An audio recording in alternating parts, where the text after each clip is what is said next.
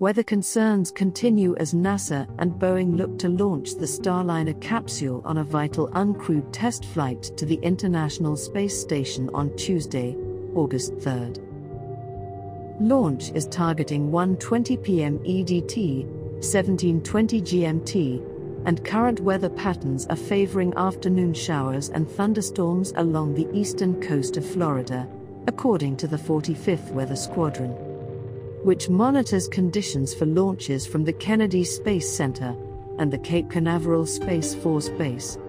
There's a 40% chance the weather will permit Tuesday's launch, according to the office's current forecast, which suggests that Starliner may be able to blast off the pad before troubling weather rolls in.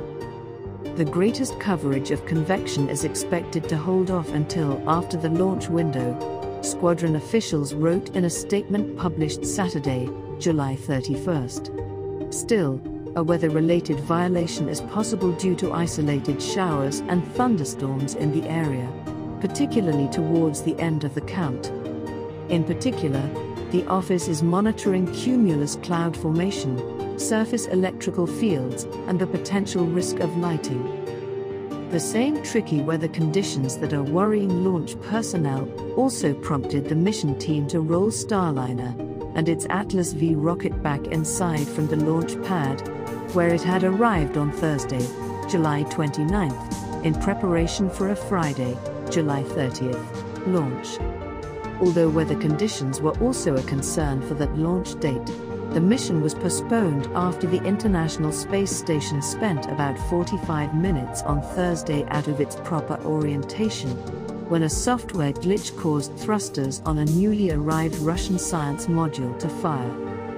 If Starliner can't launch on Tuesday, the next opportunity will be Wednesday, August 4th. Whenever the capsule does blast off, the launch will begin a day long trek to the International Space Station where it will spend less than a week before returning to Earth to land in the western United States.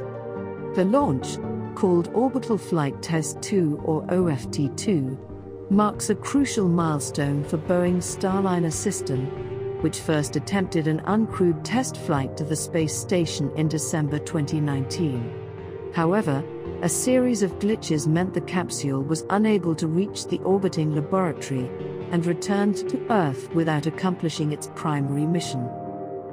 Successful mission would pave the way for three NASA astronauts to launch later this year on a crewed flight test, which would in turn allow Boeing to begin regularly ferrying astronauts to orbit, as its competitor SpaceX has already begun doing with the Crew Dragon capsule.